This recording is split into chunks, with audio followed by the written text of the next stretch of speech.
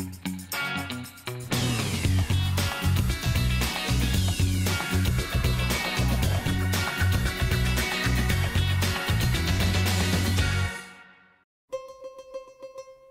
Como se iba a imaginar el inquisidor Tomás de Torquemada que en una de las sedes de su santa institución hoy se celebrarían bodas, fiestas y banquetes, o lo que es lo mismo, actos que desafiaban los principios de decencia que la Inquisición tanto proclamaba por aquel entonces. Pertenecía al barrio judío dentro del pueblo.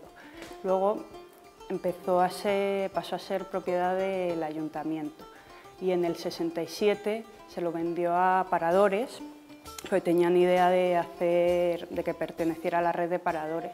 Un edificio que lleva el mismo nombre que el propietario del castillo de Pedraza, ni más ni menos que el pintor Ignacio Zuloaga, que llegó a esta villa en 1898 y dejó aquí un importante legado artístico.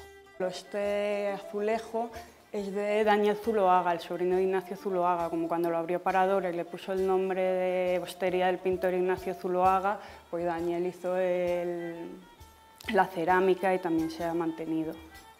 El edificio tiene más de 1.400 metros cuadrados y una finca de 22.000 en la que se oculta algún que otro misterio.